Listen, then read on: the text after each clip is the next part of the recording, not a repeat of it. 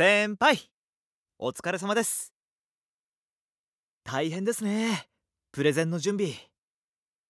お茶入れました。ちょっと休憩しましょう。どういたしまして。あのー、俺も一緒に休憩いいですか？実はお茶2つ持ってきて。2つね。うわ A ちゃん！滝口課長。何回嫌わかるんだこのバカばもう優しくしてよ。いとこなんだから。講師のけじめをつけてんだよ。どっかの新人と違って。ええそんなん俺だって。昼も過ぎて随分経つのに。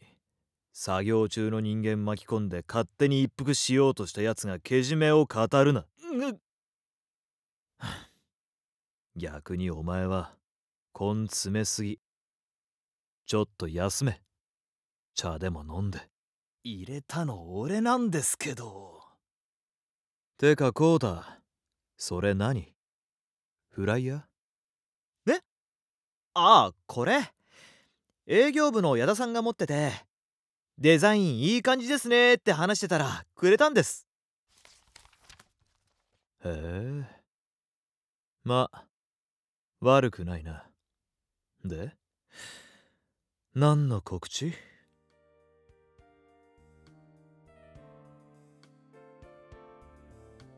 甘えた彼氏。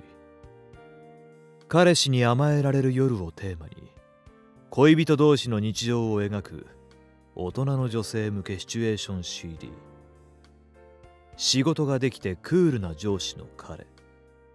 いつも元気でまっすぐな部下の彼。いつもはあなたを甘やかしてくれる彼も大好きなあなたにだから甘えたくなる。そんな彼の本音を描く日常イチャラブシチュエーション。大好きな人を愛して愛される幸せな時間をお届けします。甘えた彼氏3上司の彼部下の彼。2作品同時発売。出演。土門淳発売日は2019年7月26日。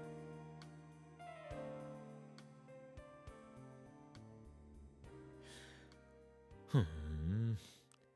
甘えたね。あそのお茶俺の！